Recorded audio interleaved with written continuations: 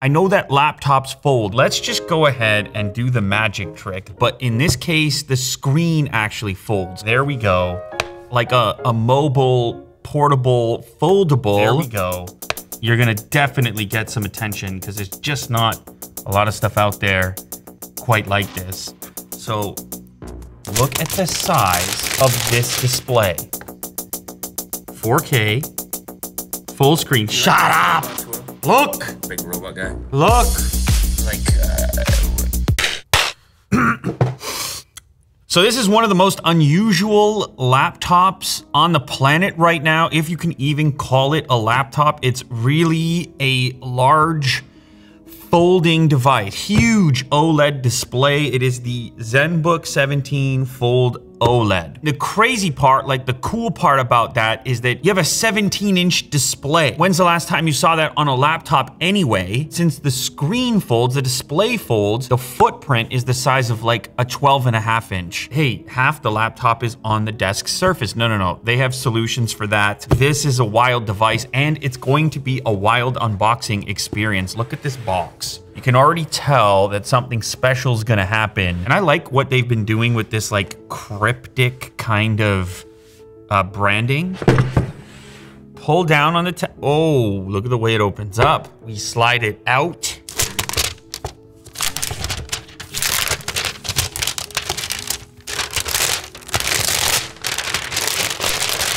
You may have seen prototypes of this device, but now it's an actual thing that you can buy. Look at the size of this display. My goodness.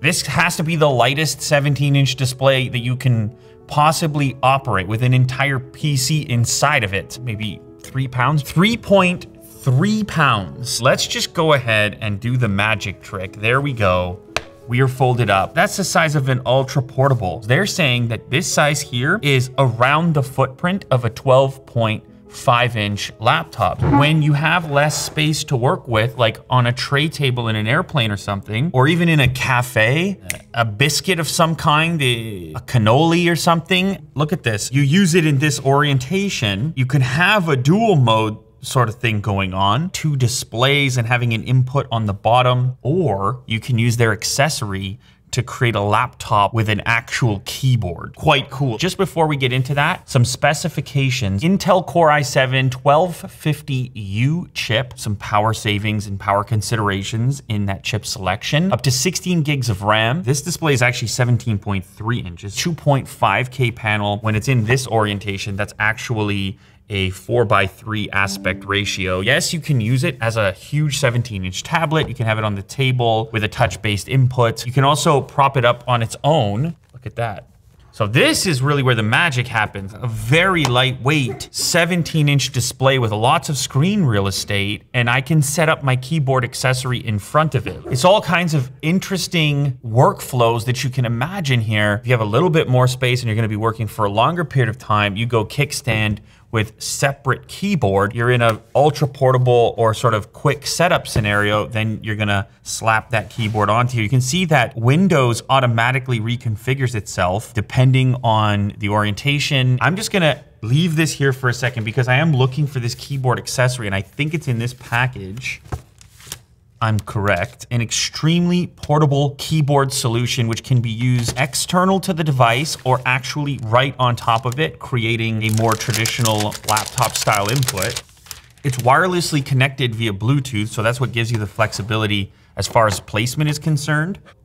That's the magic trick. It knows at that point that you've installed the keyboard and then moves Windows elements so that they're oriented correctly with the keyboard installed.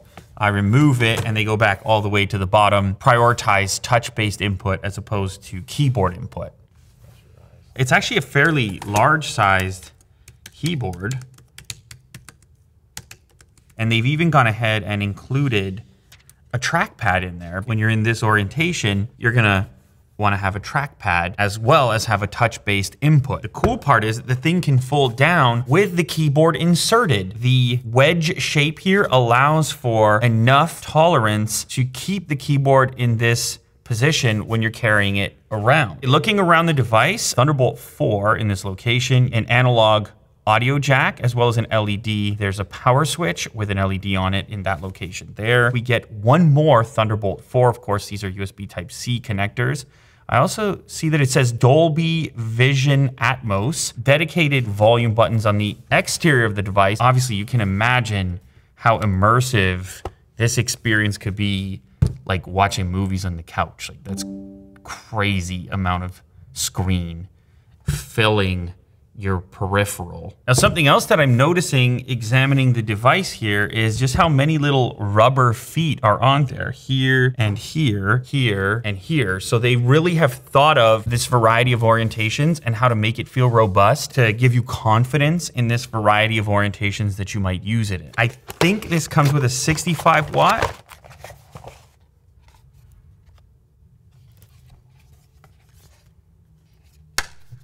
You can actually use the box as a stand. So you don't have to throw it out. I mean, enough people hold on to these anyways, and it is a really nice box. I think they're saying you can keep it around and use it as a permanent stand. So inside this box, a power brick Type C connector on the other end. Yes, it is a 65 watt adapter. This is a dongle, USB Type C to USB A.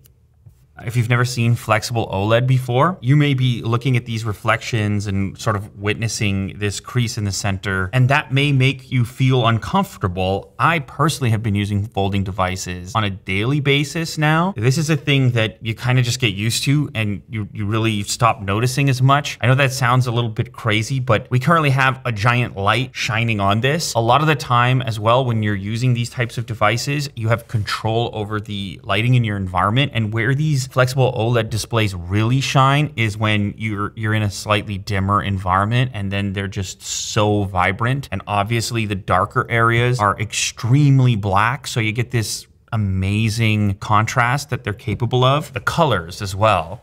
I, I, kind of this is like a, the worst angle. The ceiling is in there. It really needs to be like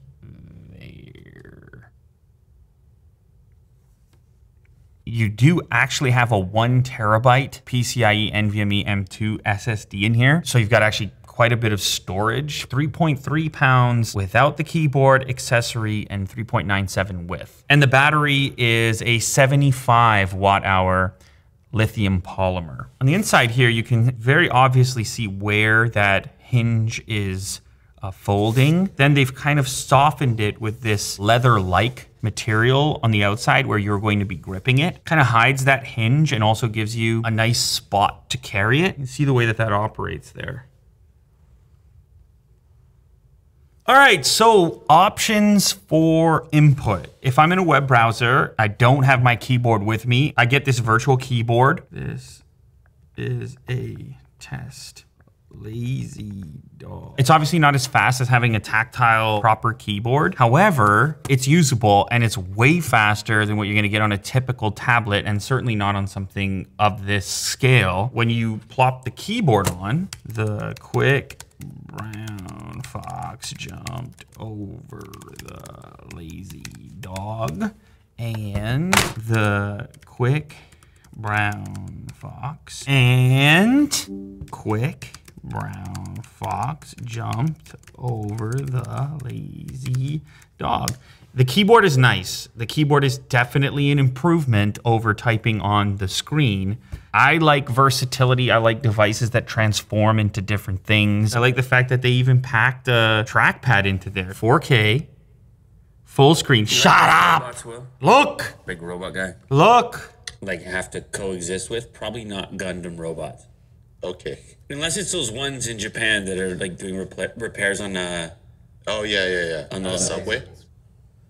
like uh what is that mech? It's like a mech. There's really nothing quite like this experience that I'm aware of. You obviously have big tablets that are out there. They're always big, right? They don't fold. So you carry them around like this. In this case, you just do this and this and like that goes with you and it it really is it looks fine. It looks proper. Oh, that guy's carrying a laptop. You know that you have access to a 17 inch display in here. Since it's in its folded orientation, the fragile aspect, which is the display, is hidden. So this implementation is pretty cool. I really like what they did with the keyboard. And obviously I'm a huge fan of OLED displays in general and what they can do and how vibrant they are and how nice to look at they are. It, it really has a science fiction feel to it. And it's really gonna be a comfortable place to consume content, get a little bit of work done. It's not gonna be the most powerful laptop on the planet. For correspondence and typical like daily work, there's another orientation you could do. How about that crazy one right there? It's gonna seem like magic and it's gonna turn some heads for sure. You're gonna definitely get some attention because there's just not a lot of stuff out there quite like this. I love seeing the push into this technology. Obviously, we've seen it on the mobile devices, but it's really more versatile than that. Once we're able to fold and bend displays, we need to start thinking an imaginative way as to like how that can affect other technology segments as well. And then having to design something that's gonna like automatically make that adjustment. It's also silent. That might be a benefit of the 1250U chip that's inside of it, low power consumption. So we do have cameras on here. I've also got infrared, so you're gonna do face unlock, facial recognition, three, two, one. Not the worst quality either. We can go ahead and run a video sample. This is a video sample using the front-facing camera on the ZenBook 17 Fold OLED. So there you have it, one of the most innovative devices featured in a while. Uh, thank goodness for 2022. It's not over yet. I don't know what the final form factor of these things looks like. This is definitely a step in the direction of some kind of futuristic folding all-in-one computing platform. It is the ZenBook 17 Fold OLED. Cool.